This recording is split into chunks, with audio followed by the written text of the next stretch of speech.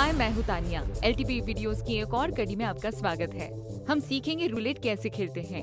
इससे पहले कि हम खेल पर जाएँ, आपको पता था रूलेट एक खेल है। ये एक फ्रांसीसी शब्द है अर्थ है छोटा पहिया।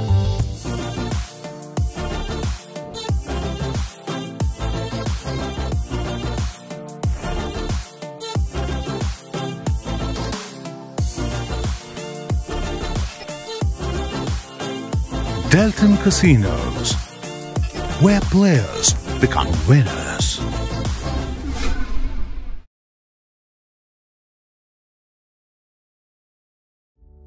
तो चलिए खेल की तरफ़।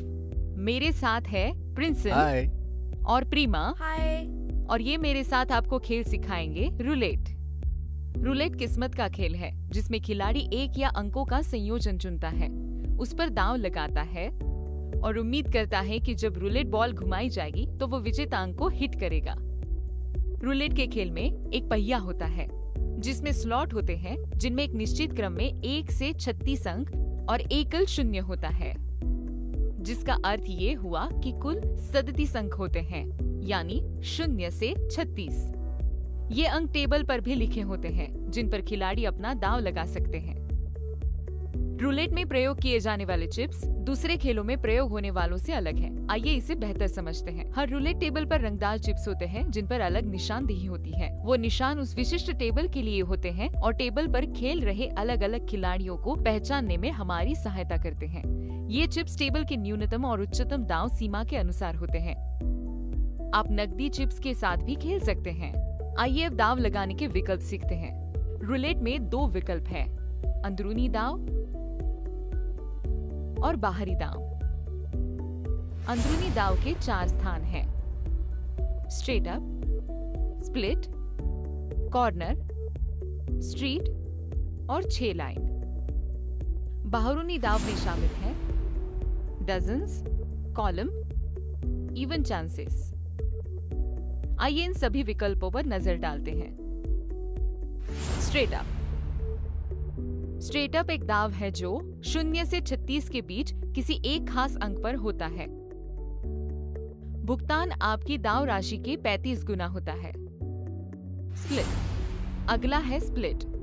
जब आप चौकोर खाने के दो अंकों की सांझी लाइन पर चिप रखते हो, उसे स्प्लिट कहा जाता है। भुगतान आपकी दाव राशि का 17 गुना होता है।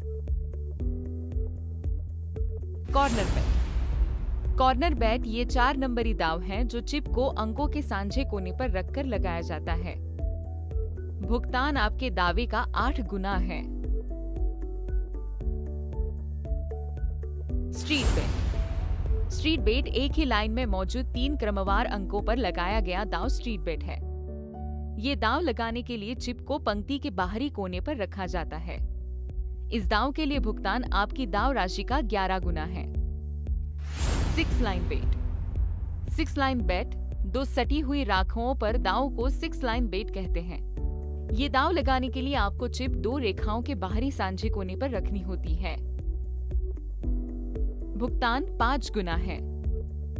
आइए अंदरूनी विकल्प को स्पष्ट करते हैं। प्रीमा नीले रंग के चिप्स प्रयोग कर रही है और उसने चिप्स को सात अंक पे रखा है जो एक स्ट्रेट अप है।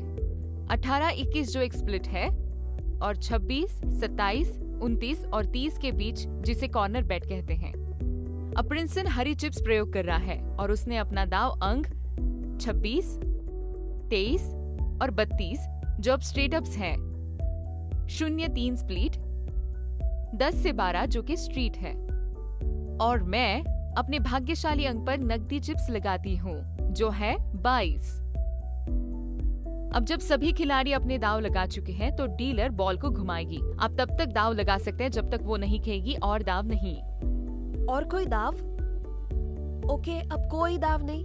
थैंक यू गुड लक इस समय खिलाड़ी अपने दाव को बढ़ा हटा या बदल नहीं सकते।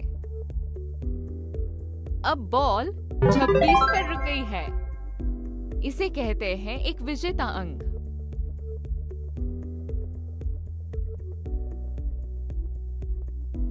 लगता है तुम्हें कोई लकी नंबर मिल गया।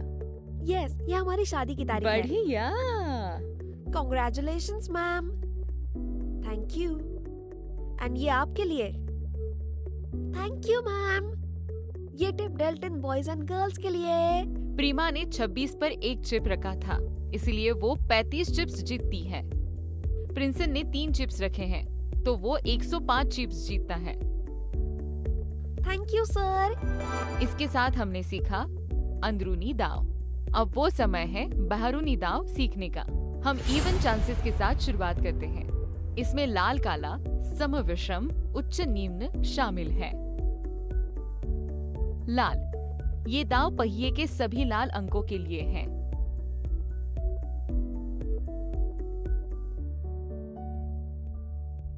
काला, पहिए के सभी काले अंकों के लिए।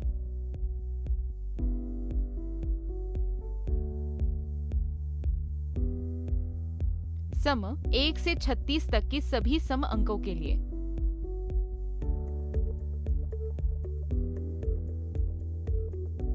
विषम एक से छत्तीस तक सभी विषम अंकों के लिए।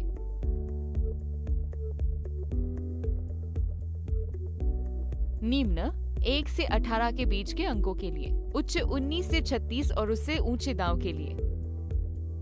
यदि आप ऊपर के किसी संयोजन में जीतते हैं तो भुगतान आपकी दाव राशि के एक गुना होगा। इसे आमतौर पर इवन मनी या इवन चांसेस कहा जाता है। अब वक्त है जानने का डजन्स और कोलम के बारे में। डजन्स 12 अंकों का संयोजन होते हैं, जैसे एक से बारह, तेरह से चौबीस और पच्चीस से छत्तीस। यदि आप इनमें से किसी संयोजन पर दाव लगाते हैं और जीतते हैं तो भुगतान आपकी दाव राशि से दुगना होगा। कॉलम बेट। कॉलम बेट में खिलाड़ी किसी भी उस कॉलम पर अपना दाव लगाता है, जिसमें उसे लगता है कि जीतने वाला नंबर होगा। दाव लगाने के लिए उसके पास तीन कॉलम है। इस दाव का भुगतान एक पर दो है। अब आपको ये हमेशा याद रखना है कि अगर विजेता अंक शून्य है तो सभी बाहरूनी दाव हार जाएँगे। चलो कुछ मज़ा करते हैं। प्रिंसन कुछ नकदी चिप लाल पर रखता है और कुछ रंगदार चिप्स उच्च पर। प्रीमा दस हरे रंग के चिप्स काले पर और नकदी चिप्स पहले और दूसरे कॉलम पर रखती है। और मैं नकदी चिप्स। चलिए देखते हैं। मुझे लगता है कि मैं दूसरे और तीसरे डजन पर रखूँगी। डीलर पहिया घुमाती है और दाव नहीं का ऐलान करती है और इस बार विजेता अंक है 21। 21 एक लाल अंक है, विषम और उच्च अंक जो के दूसरे डजन और तीसरे कॉलम में आता है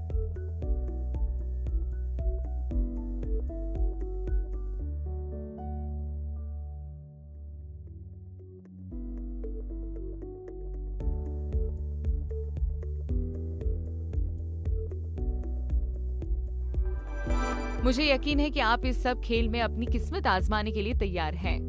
आपसे जल्दी मिलने की आशा करते हैं डेल्टीन कसिनोज में बाय